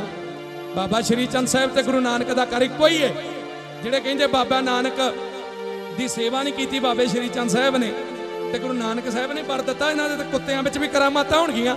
ਤੇ ਵੀ ਕਿਹਾ, ਸੁਲੱਖਣੀਏ, ਉਹ ਲੈਣਾ ਸੀ ਤੇ ਅਸੀਂ ਦੇਣਾ ਸੀ। ਉਹਨੇ ਲੈ ਲਿਆ ਤੇ ਅਸੀਂ ਦੇ ਦਿੱਤਾ। ਇਹ ਵੀ ਘੱਟ ਨਹੀਂ ਹੋਣਗੇ। ਇਹਨਾਂ ਦਾ ਸਤਿਕਾਰ ਵੀ ਬਥੇਰਾ ਰਹੇਗਾ। ਸ਼੍ਰੀ ਚੰਦਾ, ਤੇਰਾ ਆਪਣਾ ਪੰਥ ਚੱਲੇਗਾ। ਉਦਾਸੀਨ ਭੇਖ, ਤੇਰਾ ਆਪਣਾ ਪੰਥ ਚੱਲੇਗਾ। ਤੇ ਨਾਲੇ ਗੱਲ ਤੇ ਬਾਬੇ ਲੈਣੇ ਕਰਕੇ ਹੋਈ, ਜੋ ਗੁਰੂ ਅੰਗਦ ਦੇਵ ਜੀ ਬਣੇ। ਗੁਰੂ ਅੰਗਦ ਦੇਵ ਜੀ ਤੇ ਆਪ ਬਾਬਾ ਸ਼੍ਰੀ ਚੰਦ ਸਾਹਿਬ ਜੀ ਨੂੰ ਜਾ ਕੇ ਡੇਰੇ ਬਾਬੇ ਨਾਨਕ ਮਿਲਦੇ ਰਹੇ। ਗੁਰੂ ਸੁਪੁੱਤਰ ਜਾਣ ਕੇ ਸਤਿਕਾਰ ਦਿੰਦੇ ਰਹੇ। ਗੁਰੂ ਅਮਰਦਾਸ ਜੀ ਮਹਾਰਾਜ 20 ਵਾਰੀ ਗੰਗਾ ਤੇ ਗਏ ਸੀ 21ਵੀਂ ਵਾਰੀ ਜਾਣ ਲੱਗੇ। ਦਿਲ 'ਚ ਖਿਆਲ ਆਇਆ ਵੀ ਗੰਗਾ ਨਾਲੋਂ ਵੱਡਾ ਤੀਰਥ ਤੇ ਬਾਬਾ ਸ਼੍ਰੀ ਚੰਦ ਸਾਹਿਬ ਜੀ ਵੀ ਉਹਨਾਂ ਨੂੰ ਪਹਿਲਾਂ ਮਿਲ ਗਏ ਆਪਣੇ ਸੁਪੁੱਤਰਾਂ ਸਹਿਤ ਬਾਬਾ ਜੀ ਕੋਲ ਆ ਗਏ। ਬੌਲੀ ਸਾਹਿਬ, ਸਾਰਿਆਂ ਇਸ਼ਨਾਨ ਕੀਤਾ। ਬੇਅੰਤ ਬਰਕਤਾਂ ਬਖਸ਼ਿਸ਼ਾਂ ਦਾ ਮੀਂਹ ਵਰਸਿਆ। ਔਰ ਬਾਬਾ ਸ਼੍ਰੀ ਚੰਦ ਸਾਹਿਬ ਜੀ ਨੇ ਬਾਬੇ ਮੋਹਨ ਨੂੰ ਲੈ ਲਿਆ। ਕਹਿੰਦੇ ਜੀ, ਇਹ ਸੁਪੁੱਤਰ ਸਾਨੂੰ ਦੇ ਦਿਓ। ਜੇ ਬਾਬਾ ਸ਼੍ਰੀ ਚੰਦ ਨਾਲ ਗੁਰੂ ਘਰ ਦਾ ਵੈਰ ਹੁੰਦਾ, ਪਹਿਲਾਂ ਤੇ ਮਹਾਰਾਜ ਜਾਂਦੇ ਹੀ ਨਾ, ਤੇ ਨੰਬਰ 2 ਤੇ ਕੋਈ ਆਪਣਾ ਸਾਹਿਬਜ਼ਾਦਾ ਵੀ ਦਿੰਦਾ ਹੁੰਦਾ। ਬਾਬਾ ਮੋਹਨ ਜੀ, ਬਾਬਾ ਸ਼੍ਰੀ ਚੰਦ ਜੀ ਦੇ ਸੇਵਕ ਬਣੇ। ਸੇਵਾ ਕਰਦੇ ਰਹੇ। ਸਮਾਂ ਗੁਜ਼ਰਿਆ, ਗੁਰੂ ਰਾਮਦਾਸ ਜੀ ਦਾ ਵੇਲਾ ਆਇਆ। ਅੰਮ੍ਰਿਤਸਰ ਹਰਮੰਦਰ ਸਾਹਿਬ ਜਾਂਦੇ ਹੋ। ਜਦੋਂ ਪ੍ਰਕਰਮਾਂ ਵਿੱਚ ਜਾਂਦੇ ਹੋ, ਇੱਕ ਪ੍ਰਕਰਮਾਂ ਵਿੱਚ ਬਾਬੇ ਸ਼੍ਰੀ ਚੰਦ ਦਾ ਸਥਾਨ ਹੈ। ਉਹ ਹੁਣ ਉਧਰੋਂ ਦਰਵਾਜ਼ਾ ਬੰਦ ਕਰ ਲਿਆ, ਪਹਿਲਾਂ ਖੁੱਲਾ ਹੀ ਹੁੰਦਾ ਸੀ। ਉਹ ਜਿਹੜਾ ਬ੍ਰਹਮ ਬੂਟੇ ਦਾ ਅਸਥਾਨ ਨੇ ਨਾ, ਉੱਥੇ ਜਾ ਕੇ ਬਾਬਾ ਸ੍ਰੀ ਚੰਦ ਸਾਹਿਬ ਜੀ ਬੈਠੇ। ਧੰਨ ਗੁਰੂ ਰਾਮਦਾਸ ਜੀ ਨੂੰ ਚਾਹ ਚੜ ਗਿਆ। ਕਹਿੰਦੇ, ਬਾਬਾ ਜੀ ਆਏ ਨੇ, ਕੀਮਤੀ ਦੁਸ਼ਾਲਾ, ਉੱਪਰ 500 ਰੁਪਈਆ ਰੱਖ ਕੇ ਵਧੀਆ ਘੋੜਾ ਲਿਆ ਕੇ ਬਾਬਾ ਜੀ ਦੇ ਚਰਨਾਂ ਉੱਤੇ ਮੱਥਾ ਟੇਕ ਦਿੱਤਾ। ਬਾਬਾ ਜੀ ਨੂੰ ਆਸਣ ਤੇ ਬਿਠਾਇਆ, ਆਪ ਨੀਵੀਂ ਜਗ੍ਹਾ ਬਹਿ ਗਿਆ ਜਦੋਂ ਬਾਬਾ ਜੀ ਨੇ ਬੈਠਿਆਂ ਵੇਖਿਆ ਨਾ ਕਹਿੰਦੇ, ਸੁਣਿਆ, ਵੀ ਗੁਰੂ ਰਾਮਦਾਸ ਜੀ ਦੇ ਵਿੱਚ ਨਿਮਰਤਾ ਬੜੀ ਏ, ਪਰਖੀ ਕਰ ਲਈਏ, ਵੀ ਹੈ ਵੀ ਉਹ ਜੇ ਕਹਿੰਦੇ, ਜੀ, ਦਾੜਾ ਬੜਾ ਲੰਬਾ ਤੁਹਾਡਾ। ਇਹ ਕਾਦੇ ਵਾਸਤੇ ਐਡਾ ਵਧਾ ਲਿਆ? ਪਰਖ ਕਰ ਦਿੱਤੀ। ਕਿਸੇ ਨੂੰ ਕੋਈ ਹੋਰ ਨੂੰ ਕਹਿ ਦੇਵੇ ਤਾਂ ਗਲ ਪੈ ਜਾਂਦਾ। ਉਹ ਧੰਨ ਗੁਰੂ ਰਾਮਦਾਸ ਹੈ ਮਹਾਰਾਜ। ਉਹ ਲਿਖਦੇ ਨੇ ਭਾਈ ਸੰਤੋਖ ਸਿੰਘ ਜੀ। ਕਹਿੰਦੇ, ਮਹਾਰਾਜ, ਮੈਂ ਦਾੜਾ ਕਿਉਂ ਵਧਾਇਆ? ਪੁੱਛਦੇ ਹੋ। ਗੁਰੂ ਰਾਮਦਾਸ ਜੀ ਨੇ ਆਪਣਾ ਦਾੜਾ ਫੜਿਆ ਤੇ ਬਾਬੇ ਸ਼੍ਰੀ ਚੰਦ ਜੀ ਦੇ ਚਰਨ ਝਾੜਨ ਲੱਗੇ ਚਰਨ ਝਾੜਨੇ ਸ਼ੁਰੂ ਕਰ ਦਿੱਤੇ। ਕਹਿੰਦੇ ਜੀ ਇਸ ਕਰਕੇ ਵਧਾਇਆ। ਤੁਹਾਡੇ ਵਰਗੇ ਸਾਧੂਆਂ ਦੇ ਚਰਨ ਝਾੜਨ ਲਈ ਵਧਾਇਆ। ਬਾਬਾ ਜੀ ਕਹਿੰਦੇ ਇਸੇ ਕਰਕੇ ਏਡੀ ਵੱਡੀ ਗੱਦੀ ਦੇ ਵਾਰਸ ਬਣੇ ਹੋ ਉਹ ਗੁਰੂ ਨਾਨਕ ਦੀ ਗੱਦੀ ਕਿਤੇ ਛੋਟੀ ਨਹੀਂ, ਬਹੁਤ ਵੱਡੀ ਏ। ਤੁਹਾਡਾ ਦੁਨੀਆ ਦੇ ਵਿੱਚ ਜਸ ਹੋਵੇਗਾ। ਜਿਹੜਾ ਵੀ ਤੁਹਾਡੇ ਸਰ ਦੇ ਵਿੱਚ ਟੁੱਬਾ ਲਾਵੇਗਾ, ਅਮਰ ਹੋ ਜੂ ਅਮਰ। ਇਹ ਅੰਮ੍ਰਿਤ ਸਰ ਹੈ। ਇਹ ਅੰਮ੍ਰਿਤ ਕਰਨ ਵਾਲਾ ਸਰ ਹੈ। ਬੇਅੰਤ ਵਰ ਦਿੱਤੇ, ਬੇਅੰਤ ਬਖਸ਼ਾਂ ਦਿੱਤੀਆਂ। ਔਰ ਸਮਾਂ ਗੁਜ਼ਰਿਆ ਗੁਰੂ ਅਰਜਨ ਦੇਵ ਜੀ ਦਾ ਬੇੜਾ ਆਇਆ ਬਾਰਕ ਸਾਹਿਬ ਗੁਰੂ ਅਰਜਨ ਦੇਵ ਜੀ ਆਪ ਗਏ। ਸੁਖਮਨੀ ਸਾਹਿਬ ਸੁਣਾਇਆ, ਬਾਬਾ ਸ਼੍ਰੀ ਚੰਦ ਸਾਹਿਬ, ਆਹਾ ਇੰਨਾ ਕੁ ਪ੍ਰਸੰਨ ਹੋਏ, ਇੰਨਾ ਕੁ ਪ੍ਰਸੰਨ ਹੋਏ, ਕਹਿੰਦੇ ਜਿਹੜਾ ਵੀ ਸੁਖਮਨੀ ਸਾਹਿਬ ਦਾ ਪਾਠ ਪੜ੍ਹੇ, ਸੁਣੇਗਾ, ਉਹਦੇ ਸਾਰੇ ਹੀ ਸਵਾਸ ਸਫਲੇ ਹੋ ਜਾਣਗੇ। 24000 ਸਵਾਸ ਸਫਲੇ ਹੋਣਗੇ ਬਾਬਾ ਸ਼੍ਰੀ ਚੰਦ ਸਾਹਿਬ ਜੀ ਨੇ ਬੇਅੰਤ ਬਖਸ਼ਾ ਕੀਤੀਆਂ ਫੇ ਛੇਵੇਂ ਮਹਾਰਾਜ ਉਹ ਵੀ ਚੱਲ ਕੇ ਗਏ। ਬੇਅੰਤ ਸੇਵਾ ਕੀਤੀ ਮਹਾਰਾਜ ਨੇ। ਬਾਬਾ ਜੀ ਦੇ ਨੇਤਰ ਖੁੱਲੇ ਕਹਿੰਦੇ, ਮਹਾਰਾਜ, ਕਿੰਨੇ ਸਾਹਿਬਜ਼ਾਦੇ ਆ। ਆਂਦੇ, ਜੀ, ਪੰਜ ਸੀ, ਬਾਬਾ ਅਟਲ ਜੀ, ਬਚਪਨ ਵਿੱਚ ਜੋਤੀ ਜੋਤ ਰੜਾ ਗਏ। ਆ ਚਾਰ ਨੇ। ਬਾਬਾ ਜੀ ਕਹਿੰਦੇ ਕਿ ਸਾਡੇ ਜੋਗਾ ਵੀ ਹੈਗਾ। ਧੰਨ ਗੁਰੂ ਹਰਗੋਬਿੰਦ ਸਾਹਿਬ ਮਹਾਰਾਜ। ਮੀਰੀ ਪੀਰੀ ਦੇ ਮਾਲਕ ਬੰਦੀ ਛੋੜ ਬਾਜਾਂ ਵਾਲੇ, ਤਖਤਾਂ ਤਾਜਾਂ ਵਾਲੇ ਪਾਤਸ਼ਾਹ। ਕਹਿੰਦੇ, ਬਾਬਾ ਜੀ, ਸਾਰੇ ਹੀ ਤੁਹਾਡੇ, ਸਾਰੇ ਹੀ। ਕਹਿੰਦੇ, ਨਹੀਂ, ਸਾਰੇ ਨਹੀਂ ਚਾਹੀਦੇ। ਆ ਜਿਹੜੇ ਵੱਡੇ ਨੇ, ਇਹ ਸਾਡੇ ਨੇ ਤੇ ਸਾਡਿਆਂ ਵਰਗੇ ਹੀ ਨੇ। ਬਾਬਾ ਗੁਰਦਿੱਤਾ ਜੀ ਦਾ ਸਰੂਪ ਤੇ ਗੁਰੂ ਨਾਨਕ ਸਾਹਿਬ ਦਾ ਸਰੂਪ ਇੱਕੋ ਜਿਹਾ ਹੀ ਸੀ। ਆਂਦੇ ਸਾਡੇ ਵਰਗੇ ਹੀ ਨੇ। ਤੇ ਇੱਕ ਹੋਰ ਗੱਲ, ਗੁਰੂ ਨਾਨਕ ਦੇਵ ਜੀ ਵੀ ਬਟਾਲੇ ਹੀ ਵਿਆਹੇ, ਉੱਥੇ ਹੀ ਹੋਇਆ ਉਹਨਾਂ ਦਾ ਵਿਵਾਹ ਤੇ ਬਾਬਾ ਗੁਰਦਿੱਤਾ ਜੀ ਦਾ ਵਿਵਾਹ ਵੀ ਉੱਥੇ ਹੀ ਹੋਇਆ। ਆਂਦੇ ਇਹ ਨੇ ਸਾਡੇ ਸਾਨੂੰ ਦੇ ਦਿਓ। ਮਾਰੇ ਕਹਿਣ ਲੱਗੇ, ਬਾਬਾ ਗੁਰਦਿੱਤਾ ਜੀ ਨੂੰ ਜਾਓ, ਬੈਠੋ ਗੋਦ 'ਚ ਜਾ ਕੇ, ਕੋਲ ਬਹਿ ਜਾਓ। ਬਹਿ ਗਏ। ਮਰਿਆਦਾ ਅਨੁਸਾਰ ਛਿਸ਼ ਬਣਾਇਆ ਤੇ ਵਰ ਦਿੱਤਾ ਧੰਨ ਬਾਬਾ ਗੁਰਦਿੱਤਾ। ਦੀਨ ਦੁਨੀ ਦਾ ਟਿੱਕਾ ਜੋ ਬਰ ਮੰਗਿਆ, ਸੋ ਬਰ ਦਿੱਤਾ। ਅੱਜ ਵੀ ਬਾਬਾ ਗੁਰਦਿੱਤਾ ਸਾਰਿਆਂ ਦੀਆਂ ਝੋਲੀਆਂ ਭਰਦਾ। ਬਾਬੇ ਸ਼੍ਰੀ ਚੰਦ ਸਾਹਿਬ ਨੇ ਬਖਸ਼ਾਂ ਕੀਤੀਆਂ। ਬਾਬਾ ਗੁਰਦਿੱਤਾ ਜੀ। ਤੇ ਕੁਝ ਇਤਿਹਾਸਕਾਰਾਂ ਲਿਖਿਆ, ਜਿਹੜਾ ਭਾਈ ਕਮਲੀਆ ਸੀ, ਇਹ ਹੀ ਮੁੜ ਕੇ ਅਲਮਸਤ ਜੀ ਬਣ ਕੇ ਸੇਵਾਦਾਰ ਧੂਣੇ ਦੇ ਬਣੇ, ਇਹਨਾਂ ਹੀ ਸਾਰੇ ਸੇਵਾ ਕੀਤੀ। ਜਦੋਂ ਨਾਨਕ ਮਤੇ ਉਹੀ ਕੰਨ ਪਾਟੇ ਜੋਗੀ, ਜਿਹੜੇ ਗੁਰੂ ਨਾਨਕ ਦੇ ਸੁਧਾਰੇ ਸੀ, ਬਾਬੇ ਅਲਮਸਤ ਦੇ ਨਾਲ ਆਡਾ ਲੈਣ ਲੱਗ ਪਏ, ਪਿੱਪਲ ਸੁਕਾ ਦਿੱਤਾ। ਫਿਰ ਬਾਬੇ ਅਲਮਸਤ ਨੇ ਉੱਥੇ ਗੁਰੂ ਹਰਗੋਬਿੰਦ ਸਾਹਿਬ ਨੂੰ ਯਾਦ ਕੀਤਾ ਤੇ ਗੁਰੂ ਹਰਗੋਬਿੰਦ ਸਾਹਿਬ ਚੱਲ ਕੇ ਗਏ। ਉਹ ਪਿੱਪਲ ਜਿਹੜਾ ਉਹਨਾਂ ਨੇ ਸੁਕਾ ਦਿੱਤਾ ਸੀ, ਮੀਰੀ ਪੀਰੀ ਦੇ ਮਾਲਕ ਨੇ ਫਿਰ ਉਹਦੇ ਉੱਤੇ ਛੱਟੇ ਮਾਰੇ ਕੇਸਰ ਦੇ। ਅੱਜ ਵੀ ਪੱਤਿਆਂ ਉੱਤੇ ਨਿਸ਼ਾਨ ਹੈਗੇ ਅੱਜ ਵੀ। ਇਹ ਨਹੀਂ ਵੀ ਉਦੋਂ ਹੀ ਮਾਰੇ ਸੀ ਤੇ ਉਦੋਂ ਹੀ ਖਾਣਾ ਉਹ ਅੱਜ ਵੀ ਉਸੇ ਤਰ੍ਹਾਂ ਹੀ ਏ। ਜਦੋਂ ਗੁਰੂ ਨਾਨਕ ਦੇਵ ਜੀ ਗਏ ਸਿੱਧਾ ਨੇ ਪਿੱਪਲ ਹੀ ਉਡਾਤਾ ਸੀ। ਪਿੱਪਲ ਜੜਾਂ ਨਿਕਲ ਗਈਆਂ। ਮਾਰੇ ਕਹਿੰਦੇ, ਰੁਕ ਜਾ ਰੁਕ ਜਾ। ਉੱਥੇ ਹੀ ਰੁਕ ਗਿਆ। ਉਦਾਂ ਹੀ ਖੜਾ ਰਿਹਾ। ਉਹ ਪਿੱਪਲ ਤੇ ਛੱਟੇ ਮਾਰੇ ਬਾਬੇ ਅਲਮਸਤ ਨੂੰ ਬੇਅੰਤ ਪਿਆਰ ਦਿੱਤਾ। ਇਹ ਗੁਰੂ ਨਾਨਕ ਦਾ ਘਰ ਬਾਬਾ ਸ਼੍ਰੀ ਚੰਦ ਸਾਹਿਬ ਜੀ ਦਾ ਘਰ। ਕੋਈ ਪੱਖ ਨਹੀਂ ਤੇ ਨਾ ਹੀ ਕੋਈ ਵੱਖ ਕਰਨ ਦੀ ਕੋਸ਼ਿਸ਼ ਕਰੇ। ਅੱਜ ਵੀ ਕਈ ਇਹੋ ਜਿਹੇ ਸਾਧੂ ਨੇ। ਸ਼੍ਰੀਮਾਨ ਬਾਬਾ ਬੂਟਾ ਦਾਸ ਜੀ ਜਿਹੜੇ ਸੁਖਣੇ ਪਿੰਡ ਦੇ ਵਿੱਚ ਰਹਿੰਦੇ ਨੇ ਔਰ ਗੁਰਬਾਣੀ ਗੁਰਮਤ ਦਾ ਬੇਅੰਤ ਪ੍ਰਚਾਰ ਕਰਦੇ ਨੇ ਸ਼੍ਰੀਮਾਨ ਸੰਤ ਬਾਬਾ ਗੁਰਿੰਦਰ ਸਿੰਘ ਜੀ ਮਾਂਡੀ ਵਾਲੇ। ਚੜ੍ਹਦੀ ਜਵਾਨੀ ਦੇ ਸਾਧੂ ਨੇ ਤੇ ਬਾਬਾ ਸ਼੍ਰੀ ਚੰਦ ਸਾਹਿਬ ਜੀ ਦੇ ਭੇਖ ਨੂੰ ਲੈ ਕੇ ਅਗਾਂਹ ਤੁਰੇ ਨੇ ਔਰ ਐਡਾ ਚਿਹਰੇ ਤੇ ਜਲਾਲ ਹੈ ਉਹਨਾਂ ਦੇ, ਜਿਹੜਾ ਦਰਸ਼ਨ ਕਰ ਲੈ ਨਾ, ਜਨਮਾਂ ਜਨਮਾਂਤਰਾਂ ਦੀ ਦਿਲ ਦੀ ਮੈਲ ਲੈ ਜਾਂਦੀ ਦਰਸ਼ਨ ਕਰਕੇ। ਉਹ ਬਾਬੇ ਸ਼੍ਰੀ ਚੰਦ ਸਾਹਿਬ ਜੀ ਦੇ ਮੱਤ ਨੂੰ ਲੈ ਕੇ 24 ਘੰਟੇ ਧੂਣੇ ਉਜਾਗਰ ਰਹਿੰਦੇ ਨੇ। ਉਹ ਮਾਂਡੀ ਵਾਲੇ ਮਹਾਂਪੁਰਖ ਕਿਹਦਾ ਕਿਹਦਾ ਮੈਂ ਜ਼ਿਕਰ ਕਰਾਂ? ਸਾਰੀ ਦੁਨੀਆ ਦੇ ਵਿੱਚ। ਔਰ ਪਿਆਰਿਓ, ਜਿਸ ਸਥਾਨ ਤੇ ਤੁਸੀਂ ਆਏ ਹੋ, ਇਹ ਨਾ ਕੋਈ ਭੁਲੇਖਾ ਖਾ ਜਾਏ ਤੇ ਬਾਬਾ ਜੀ ਨੇ ਦਾਤਣ ਕੱਟ ਕੇ ਟਾਲੀ ਬਣਾ ਦਿੱਤੀ, ਉਹ ਟਾਲੀ ਸਾਹਿਬ ਬਣ ਗਿਆ।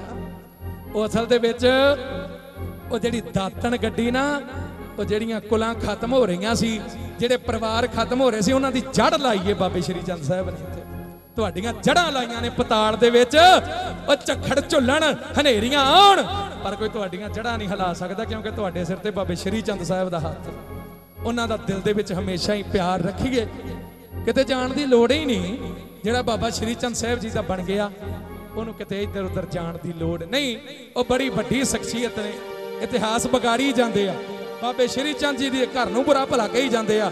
ਉਹ ਜੇ ਉਦਾਸੀ ਤੇ ਨਿਰਮਲੇ ਨਾ ਹੁੰਦੇ ਸੱਚੇ। ਅੱਜ ਉਹ ਪ੍ਰਾਤਨ ਸਾਡੇ ਕੋਲ ਸਾਰਾ ਕੁਝ ਸਾਂਭਿਆ ਪਿਆ, ਇਤਿਹਾਸ ਸਾਡੇ ਕੋਲ ਸਾਂਭਿਆ ਪਿਆ। ਸੱਚੇ ਪਾਤਸ਼ਾਹ ਦਾ, ਉਹ ਗੁਰੂ ਗ੍ਰੰਥ ਸਾਹਿਬ ਦਾ ਉਸੇ ਤਰ੍ਹਾਂ ਸਰੂਪ, ਇਹ ਸਾਡੇ ਕੋਲ ਹੀ ਨਾ ਹੁੰਦਾ।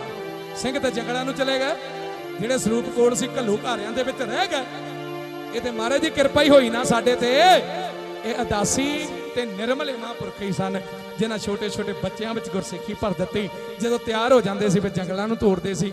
ਸਾਹਿਬ ਦੀ ਰਹਿਮਤ ਹੋਵੇ, ਤਦ ਜਾ ਕੇ ਗੁਰੂ ਸਾਹਿਬ ਦੇ ਦਰ ਦੀ ਸੇਵਾ ਮਿਲਦੀ ਹੈ। ਜਿਸ ਨੂੰ ਬਖਸ਼ੇ ਸਿਫਤ ਸਾਲਾ, ਨਾਨਕ ਪਾਤਸ਼ਾਹੀ ਪਾਤਸ਼ਾਹੀ। ਵੱਡੀਆਂ ਦਾਤਾਂ ਮਿਲਦੀਆਂ ਨੇ, ਬਹੁਤ ਰੰਗੀਆਂ ਹੋਈਆਂ, ਰੂਹਾਂ ਬੈਠੀਆਂ ਨੇ। ਮਹਾਰਾਜ ਕਿਰਪਾ ਕਰੇ, ਸਭਨਾਂ ਦੀਆਂ ਆਸਾਂ ਮੁਰਾਦਾਂ ਪੂਰੀਆਂ ਕਰੇ। ਸਤਿਗੁਰੂ ਸਾਰਿਆਂ ਨੂੰ ਚੜ੍ਹਦੀ ਕਲਾ ਦੇ ਵਿੱਚ ਰੱਖੇ। ਭੁੱਲਾਂ ਚੁੱਕਾਂ ਦੀ ਖਿਮਾ ਕਰਦੇ ਹੋਏ ਜੀ, ਖੁਸ਼ੇ ਬਖਸ਼ੋ, ਆਖੋ ਜੀ। ਵਾਹਿਗੁਰੂ ਜੀ ਕਾ ਖਾਲਸਾ, ਵਾਹਿਗੁਰੂ ਜੀ ਕੀ ਫਤਿਹ।